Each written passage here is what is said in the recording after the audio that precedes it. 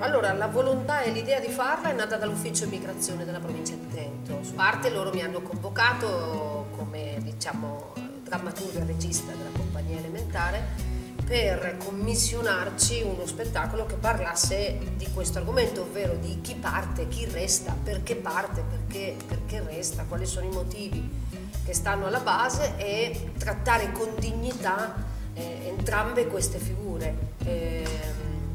questo ha riscontrato diciamo,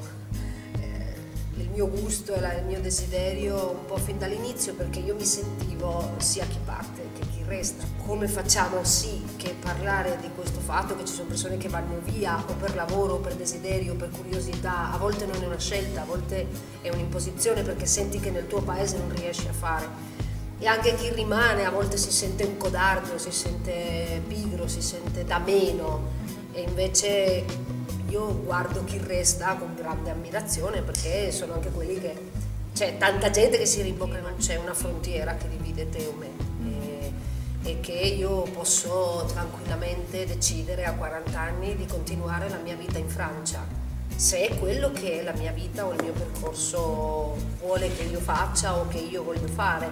Scelto di raccontare tutto ciò attraverso una famiglia media italiana, una nonna, due fratelli, uno che parte e uno che resta,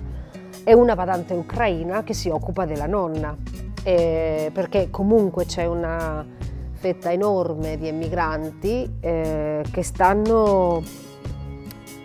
sostituendo noi e anche sostituendo tante cose che noi facciamo o che facevamo in passato. E abbiamo deciso di raccontare alcuni momenti dello spettacolo attraverso la musica, attraverso emozioni diverse che solo la canzone può trasmettere. E anche perché oggi si è molto abituati a a vivere la musica in un altro modo e allora perché il teatro non può accogliere questo tipo di, di linguaggio. Credo che mm, invece l'importante sia concentrarsi su che cosa vogliamo fare, più che dove lo vogliamo fare. Si sta, sta nascendo una cultura nuova, quindi siamo solo che all'inizio del caos.